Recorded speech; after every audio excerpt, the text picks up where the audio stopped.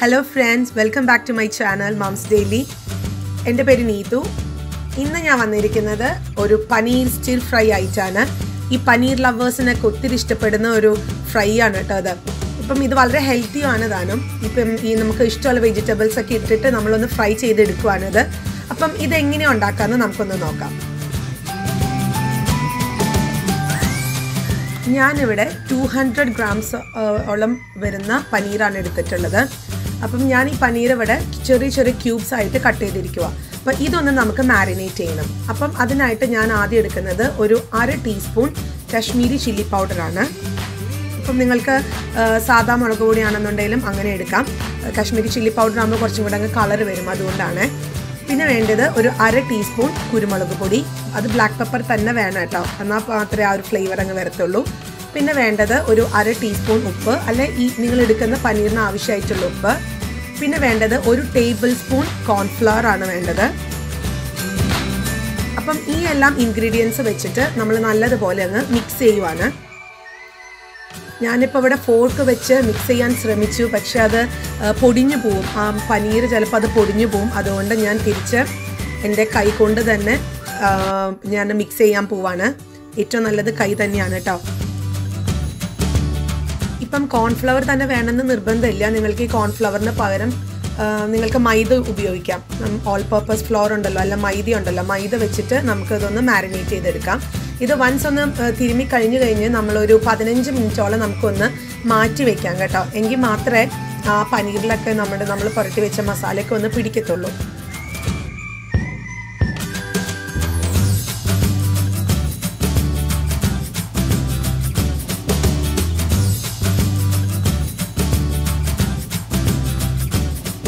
നമ്മൾ മാരിനേറ്റ് ചെയ്ത് വെച്ച ഈ പനീർ ഏകദേശം പതിനഞ്ച് മിനിറ്റോളം കഴിഞ്ഞു. ഇനി ഞാനിത് ഫ്രൈ ചെയ്യാൻ പോവാണ്. അതിനു വേണ്ടി ഒരു പാൻ ഞാൻ അടുപ്പത്ത് വെച്ചിട്ടുണ്ട്. ഈ പാനിനകത്തോട്ട് ഞാൻ ഒരേ ഒരു ടേബിൾ സ്പൂൺ ഓയിൽ മാത്രമേ യൂസ് ചെയ്യുന്നുള്ളൂ. സൺഫ്ലവർ ഓയിലാണ് യൂസ് ചെയ്തിരിക്കുന്നത് പിന്നെ ഞാനൊരു അര ടീസ്പൂൺ ബട്ടറും യൂസ് ചെയ്യുന്നുണ്ട്. അത് ഓപ്ഷണലാണ് നിങ്ങൾക്ക് വേണമെന്നുണ്ടെങ്കിൽ മാത്രം ബട്ടർ ചേർത്താൽ മതി. ഇല്ലാന്നുണ്ടെങ്കിൽ ഈ പറഞ്ഞ ഒരു ടേബിൾ സ്പൂൺ ഓയിലിനകത്ത് നിങ്ങൾക്ക് ഫ്രൈ ചെയ്തെടുക്കാം.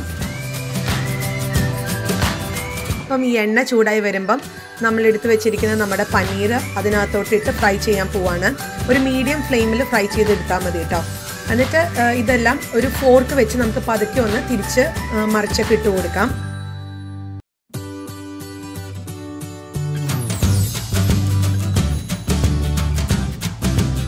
പനീർ ഇവിടെ റെഡിയായി വന്നിട്ടുണ്ട്. ഫ്രൈ ആയിട്ടുണ്ട് ആവശ്യത്തിന്. ഞാനിനി ഇത് മാറ്റുവാണ്.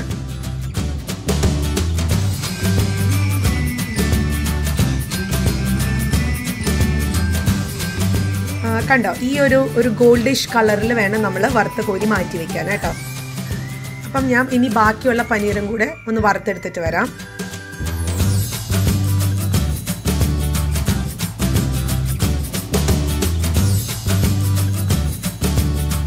അപ്പം ഈ പനീറെല്ലാം വറുത്ത് കോരി കഴിഞ്ഞു.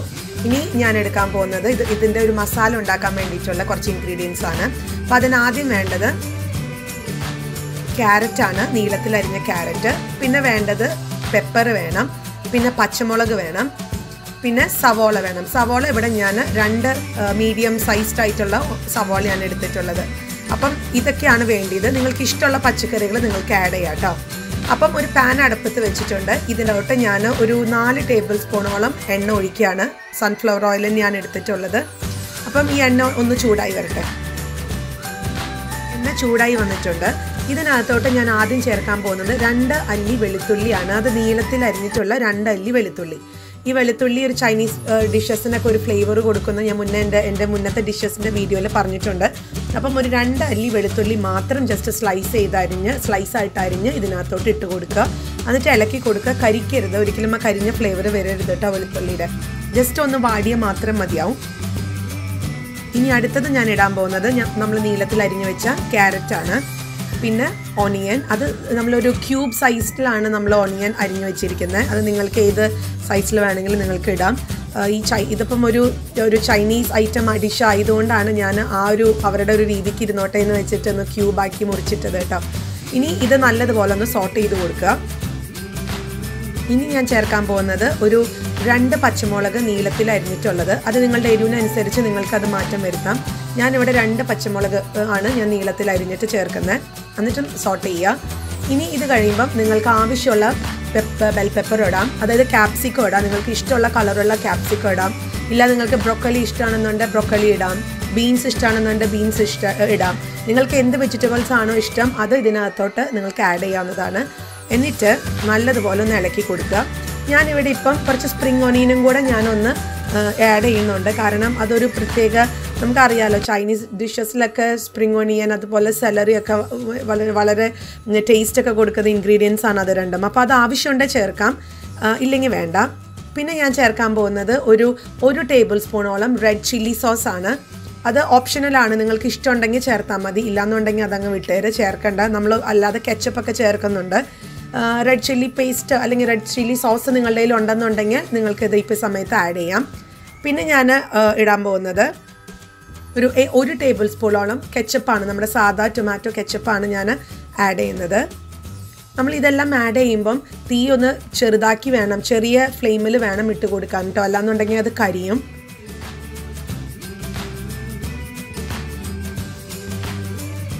ഇനി ഞാൻ ചേർക്കാൻ പോകുന്നത് ഒരു ടേബിൾ സ്പൂണോളം സോയ സോസ് ആണ്. അത് നിങ്ങൾക്ക് ഡാർക്കോ ലൈറ്റോ എന്ത് സോയ സോസ് വേണമെങ്കിലും എടുക്കാം. ഞാനിവിടെ എടുത്തിരിക്കുന്നത് ഡാർക്ക് സോയ സോസ് ആണ്. അപ്പം ഈ സോയ സോസും ചേർത്ത് നല്ലതുപോലെ ഇളക്കി കൊടുക്കുക. ഞാനിപ്പോൾ ഇവിടെ ഉപ്പ് ഇട്ടിട്ടില്ല. ഇടാൻ മറന്നതല്ല. ഈ സോയ സോസും കൂടെ ആഡ് ചെയ്ത് കഴിഞ്ഞിട്ട് നമുക്ക് ഉപ്പ് ചേർക്കാം. കാരണം സോയ സോസിൽ ഓൾറെഡി കുറച്ച് ഉപ്പ് ഉണ്ടല്ലോ അപ്പം അത് ഒത്തിരി അങ്ങ് ആയി പോണ്ടെന്ന് വിചാരിച്ചിട്ടാണ് സോയ സോസ് ആഡ് ചെയ്തിട്ട് ഉപ്പ് ചേർക്കാമെന്ന് വിചാരിച്ച്. ഇനി ഞാനിവിടെ ഉപ്പ് ചേർക്കുകയാണ് ഏകദേശം ഒരു അര ടീസ്പൂണോളം ഉപ്പാണ് ഞാനിവിടെ ചേർക്കാൻ പോകുന്നത് കേട്ടോ എന്നിട്ട് നല്ലതുപോലെ ഒന്ന് സോട്ട് ചെയ്ത് കൊടുക്കുക. ഈ സമയത്ത് നമുക്കൊന്ന് തീ കൂട്ടി വെക്കാം കേട്ടോ. കാരണം ചൈനീസ് ഐറ്റംസിന് ആ ഒരു സോസ് ഒഴിക്കുമ്പോൾ മാത്രം ഒന്ന് കുറച്ചിട്ടാൽ മതി. അത് കഴിയുമ്പോഴൊക്കെ എല്ലാം ഫുൾ ഫ്ലെയിമിലാണ് നമ്മൾ സോട്ട് ചെയ്യേണ്ടത്. എന്നാലേ ആ പച്ചക്കറികളൊക്കെ ഒന്ന് ചെറിയൊരു ചുകയിൽ കഴിക്കാൻ കിട്ടത്തുള്ളൂ.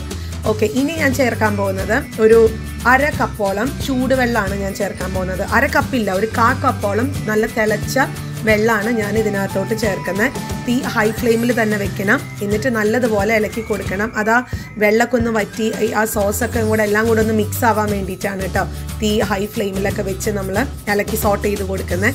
നിർത്താതെ സോട്ട് ചെയ്ത് കൊടുക്കണേ.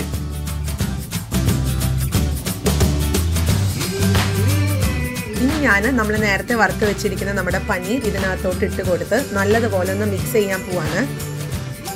നല്ല നല്ലതുപോലെ തന്നെ മിക്സ് ചെയ്യണം. ആ മസാല എല്ലാം അതിനകത്തോട്ട് പിടിക്കത്തക്ക രീതിയിൽ തന്നെ മിക്സ് ചെയ്യുക നല്ലതുപോലെ. അപ്പം നമ്മുടെ പനീർ റെഡി ആയിട്ടുണ്ട്. ഇനി ഞാൻ ഇതിന്റെ മേലെക്കൂടെ ഒരു ഒരു പിഞ്ച് ഷുഗറും കൂടെ ആഡ് ചെയ്യുന്നുണ്ട്. ഇത് ചൈനീസ് ഇതിന് പിന്നെ ഡിഷസിനെല്ലാം ഒരു പിഞ്ച് ഷുഗർ എപ്പോഴും നല്ലതാണ്. പിന്നെ ഞാൻ ആഡ് ചെയ്യാൻ പോകുന്നത് ഒന്ന് ഗാർണിഷ് ചെയ്യാൻ വേണ്ടിയിട്ട് കുറച്ച് സ്പ്രിംഗ് ഓണിയൻസും കൂടെ ചേർക്കുന്നുണ്ട്. അപ്പം ഇത്രയേ ഉള്ളൂ നമ്മുടെ പനീർ സ്റ്റിൽ ഫ്രൈ വളരെ ഹെൽത്തിയാണ് നിങ്ങൾക്ക് ഇഷ്ടമുള്ള വെജിറ്റബിൾസ് കൂടെ ചേർത്ത് നിങ്ങൾക്ക് ഇത് കഴിക്കാവുന്നതാണ്. അപ്പം ഈ ഒരു ഡിഷ് എല്ലാവരും ട്രൈ ചെയ്ത് നോക്കണം. ഇപ്പം ക്രിസ്മസ് ഒക്കെ വരുമല്ലേ നമുക്ക് ഈ ഇറച്ചിയൊക്കെ കഴിക്കുന്ന കൂട്ടത്തിൽ നമുക്കൊരു വെജ് സ്റ്റാർട്ടറും കൂടെ അങ്ങ് വെച്ചേക്കാം എന്ന് ഓർത്താൽ ഈ ഒരു വെജ് സ്റ്റാർട്ടർ നിങ്ങളുടെ മനസ്സിലുണ്ടാവണം. ഇതൊന്ന് ട്രൈ ചെയ്ത് നോക്കൂ എല്ലാവരും കേട്ടോ? ഇപ്പം എന്നും ഞാൻ പറയുന്ന പോലെ ഇഷ്ടപ്പെട്ടിട്ടുണ്ടെങ്കിൽ പ്ലീസ് എന്റെ ഈ വീഡിയോ ലൈക്ക് ചെയ്യാൻ മറക്കരുത്. അതുപോലെ തന്നെ എന്റെ ഈ ചാനൽ ആദ്യമായിട്ടാണ് കാണുന്നതെങ്കിൽ please subscribe my channel so അടുത്തൊരു വീഡിയോ ആയിട്ട് വരുന്നത് വരയ്ക്കും. A big bye take care